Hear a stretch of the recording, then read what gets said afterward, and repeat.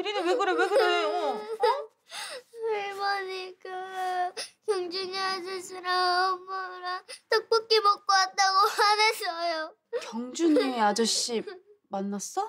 엄마랑 떡볶이 먹으러 갔는데 길에서 아저씨 만났어. 내가 같이 가자고 했어.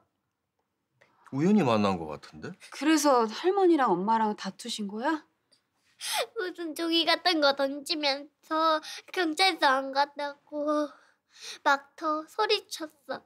할머니가 엄마한테 그리고 할머니가 그랬어. 우리 엄마 때문에 아빠가 죽은 거라고. 고모가 방에서 귀 막아줬는데 나도 다 들었어요.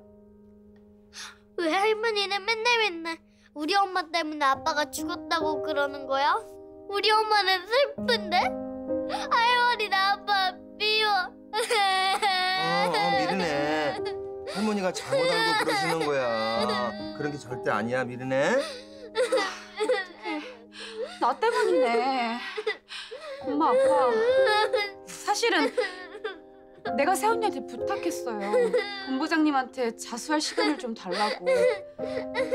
그래서 세훈이가 고소장 접수를 좀 미룬 건데 그걸 큰엄마가 알았나 봐. 아 근데 그걸 어떻게 하셨지? 혹시 당신이야? 당신 아까 방에서 속닥거리더니 형수님한테 전화해가지고 다 일러 바쳤냐고. 엄마 진짜야? 아까 내 전화 엿듣고 큰엄마랑 통화한 거야? 아니 나는 궁금하기도 하고 걱정도 돼서 그래서 연락해 본 거지. 뭐 내가 솔직히 일이 이렇게 커질 줄 알았나? 내가 뭐 집으로 쫓아내라 그런 것도 아니고. 서화경! 아 여보 여보 여보 미리는 다 들어.